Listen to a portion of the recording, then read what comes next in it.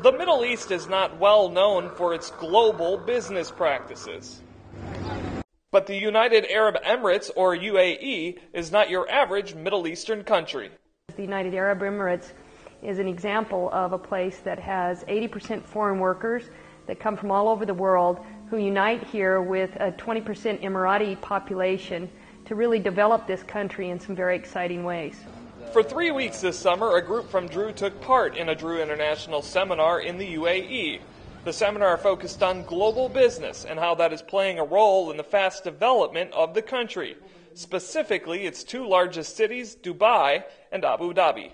It would be a, a great crossroad to teach students about global business, but also to teach them about the changes that are taking place with the cultural changes within society and the cultural nuances that take place as societies evolve. Now, it wasn't too long ago that Dubai was a desert town with not much development.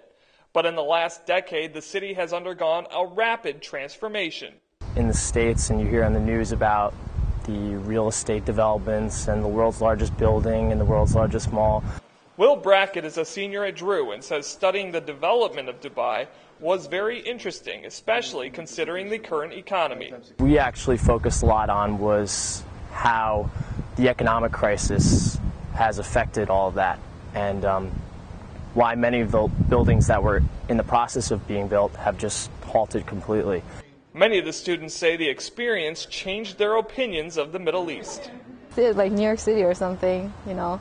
There's um, a lot of foreigners. You can speak English. You can get like any kind of food you want. It's really not any like stereotypical Middle Eastern country. And while they say they never imagined visiting a Middle Eastern country, now that they have, they say they can't wait to go back. I talk about it all the time with my friends, so they have to like stop me from talking too much. For Drew University, I'm Ted Johnsen.